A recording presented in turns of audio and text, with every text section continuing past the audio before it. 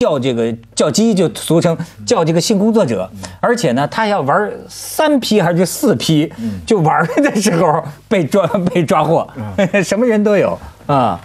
不过你刚才讲到儿童教育，我我记得一个广告，最近前一阵不是很红吗？嗯，你记得吧？他们说这个广告实际上就大人看过去哦，对，是一个普通的画面，对吧？是一个人，但是站在小孩的角度看，就可以看到危险跟警告。对。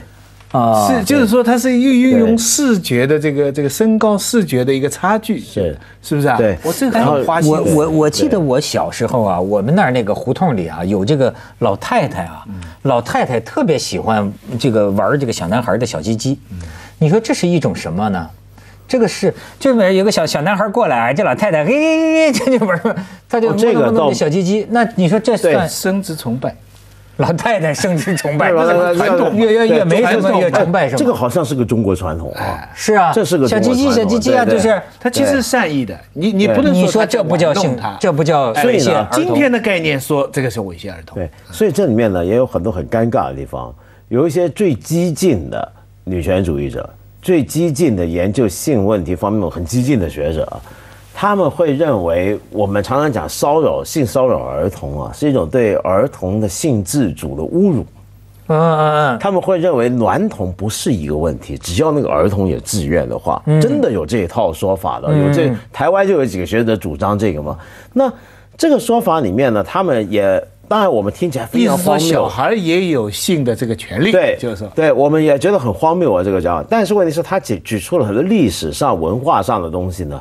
的确是非常暧昧的，就像你刚才举那个例子，就他们常常举说，像这种案件，这种事，它其实不是那么的性，它是围绕着性，嗯，但是又跟我们觉得那种性骚扰不一样，那这个是怎么回事呢？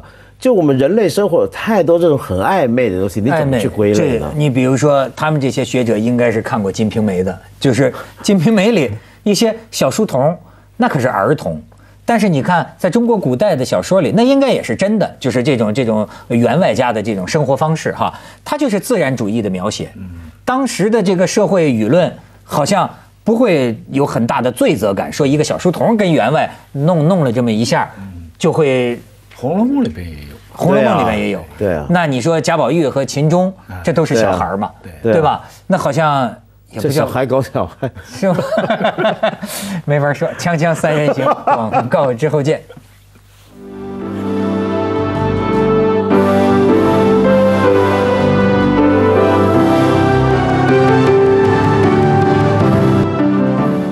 你像最近那个南非那个祖马那个总统，你看一边厢。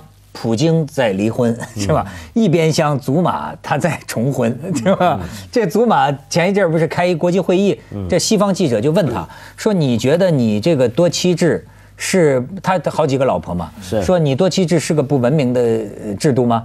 这是不是男女不平等啊？”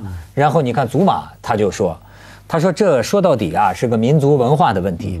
他说这个我认为问题就在于有一些人总是认为自己的文化。”比别人的文化要优越。他说：“我可以一方面恪守着男女平等的信念，但是另一方面呢，我又采取着我的这个多妻制，所以就有了那个著名的说法。那个记者就问他说：‘你觉得你对你这几个老婆真的能够做到完全均等吗？’祖玛说：‘完全均等，完全均等。’难道？但我们也总不能说，那么看来我们中国这个员外玩书童啊，小孩玩小孩，像贾宝玉那种。”就是一个伟大的民族文化传统，是个国情，值得发扬，所以现在就大家都在发扬。不是，所以这个里边你看，他还谈到一种啊，呃，有一些东西是有绝对标准的，嗯，但是连这个绝对标准呢，也是在历史当中我们会看到它的它的演变。比如是在古希腊的时候，西方也没有这个年龄的没有标准。对吧？好像好像我甚至十二三岁就可以了。十二三岁在希腊。爸爸现在像非洲是吧？说是有些九岁的女孩子就来月经了，对，慢慢这这可能很小就能生孩子。你看它存在着一个微小的差异，但是我们必须说啊，这不妨碍。看来世界上啊是存在绝对的主流的，你不能不认同的这个文明标准。这也是人类文明发展没办法，人类文明没办法，现在只能滑线。你领导干部这个怎么叫七上八下？嗯，你这个呃少女做爱十四岁，对不对？你看你十三岁，呃呃，十一个月你就犯法了。对啊，你十四岁过一个月，你说一个人差两个月，难道身心有这么大变化吗？你说实话，你两个人拿过来，一个十三岁的，一个十五岁的，可能那个十三岁比这个十五岁成熟的多，对不对？啊有可能哎，但是。法律只能这样来划线，你否则怎么办？你如果每一个都 case by case 的话，那不永远都划不出来。而且说实在的，真的就是说别的事儿我挺能理解的。你比如说同性恋啊，这个这个我都能琢磨琢磨，都知道怎么舒服，你知道吗？但是我觉得娈童这个事儿，我真不能理解。就说这这这过什么瘾呢？我觉得这个真是很没试过就没发言变态，嘛就是就是要知道梨子的滋味，就要先变革梨子。你在鼓励我什么？但这些也也有些兴趣，我们必须承认，可能是我们这辈子都不会有的兴趣。对但是我想讲的是，有我刚刚说到有什么，你刚刚提到有什么是绝对的、基本的、普遍的东西呢？我觉得这是权利。就是说，你娈童也好，或者怎么样也好，我同意有些学者他们或许会有理由说，儿童跟性的关系可以很复杂，不是我们原来说的那么简单。但是，当他牵涉权利的时候怎么办？